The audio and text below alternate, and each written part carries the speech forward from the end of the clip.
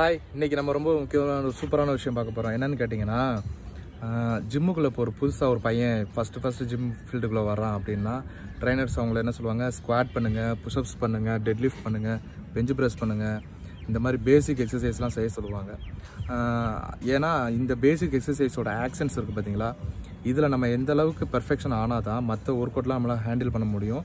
நம்ம பாடியும் ரொம்ப சீக்கிரமாக க்ரோ க்ரோத் ஆகும். ஸோ அவங்க இதை தான் சொல்லுவாங்க.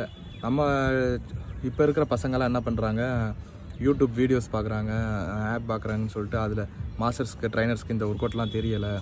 இதெல்லாம் புதுசாக இருக்குது எக்ஸாம்பிள் சொல்கிறேன் அவங்க மாஸ்டர்ஸ் பெஞ்ச் ப்ரெஸ் சொல்லி கொடுத்தாங்கன்னா அவங்க அது அவங்கள தான் தெரியும் அப்படின்னு நினச்சிட்டு அவங்க என்ன பண்ணுவாங்க?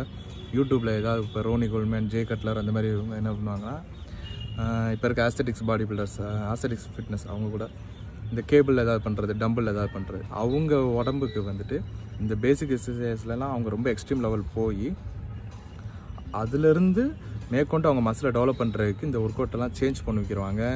வேரியேஷன்ஸ் வச்சுக்கிடுவாங்க இந்த இன்ஸ்ட்ருமெண்ட்டை மாற்றிக்கிடுவாங்க ஸோ பேசிக்காக உள்ளே நுழைஞ்ச நமக்கு அந்த இன்ஸ்ட்ருமெண்ட்டு அந்த இதெல்லாம் நமக்கு தேவையில்லை.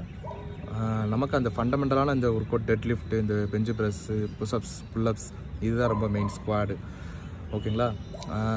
ஸோ இதை பண்ணுங்கள் இதுவே உங்களை நல்ல இம்ப்ரூவ்மெண்ட் கொடுக்கும். நீங்கள் பார்க்குற ஒர்க் அவுட் எல்லாமே டெம்பரவரியான ரிசல்ட் தான் நான் எனக்கு கொடுக்கும். அது அந்த அளவுக்கு உங்களுக்கு உங்களை ஃபிட்னஸ் ஜேர்னியை வந்து ஃபுல்ஃபில் பண்ணாது.